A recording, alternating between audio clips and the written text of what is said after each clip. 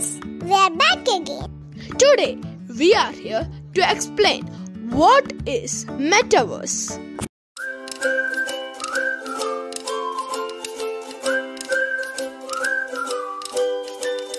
First of all, where did the word metaverse originate from? Author Neal Stephenson invented the term metaverse in his 1992 science fiction novel Snow Crash, in which he envisioned lifelike avatars who meet in realistic 3D buildings and other virtual reality environments. Yup, that's right.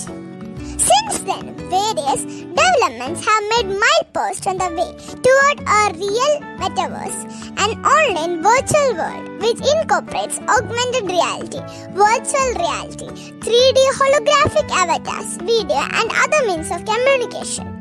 I am really excited for the metaverse to come out.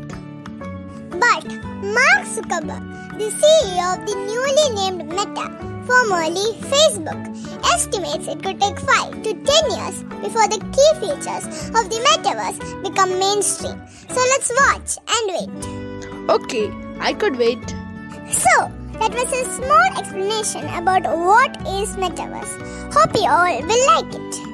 Like and subscribe if you love our videos so that we could put more interesting videos like this. Till the next episode,